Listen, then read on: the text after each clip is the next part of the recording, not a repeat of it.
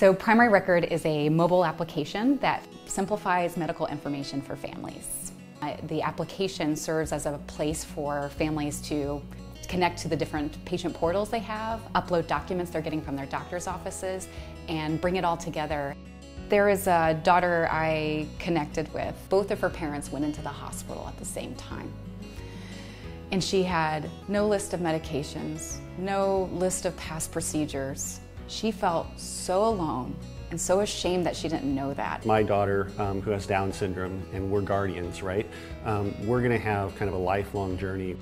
It does span, it's not just an aging population. Families need to have their medical information in one place because our systems are not doing a good job of sharing it between them.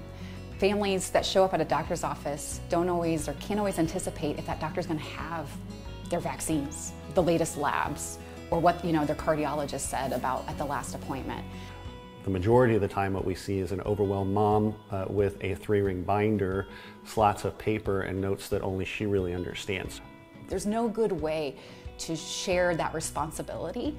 And when I was working with caregivers, I just would see them growing more and more alone in being that person that can maintain that binder. And so we had to find a way to figure out how do we put information in a central place to support that caregiver. The whole goal of primary record is to be able to say, primary caregiver, you now have a way to invite people in, document things, and share the burden of kind of owning that information and have one source of truth. I am not a technology person, um, but I was a nurse and I just kept hearing the same problems over and over.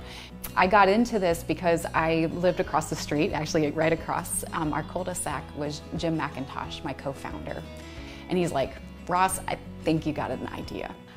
I am so grateful for what all that is changing and happening in the Indianapolis community. There's something about our community that allows us to just kind of roll up our sleeves and figure out how we're going to work together to make this happen for Hoosiers. The longer I'm here, the more I've, I've it's almost like I don't care what the rest of the, the coasts think.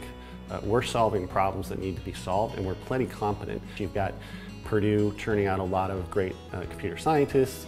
You have IU with a lot of the, the bio life sciences, uh, as well as informatics now. Uh, Butler with kind of the biology side of things. Uh, there's a lot here, and you can have a great quality of life and you know reduce cost of living. Great schools, great community. If you're compassionate and you have empathy, uh, and then you can work in a technology field. Um, those are the type of people that we want to bring together. So the talent that I'm looking for is if you identify with the mission of a company and you have enough of that skill set that we're looking for, apply to that job.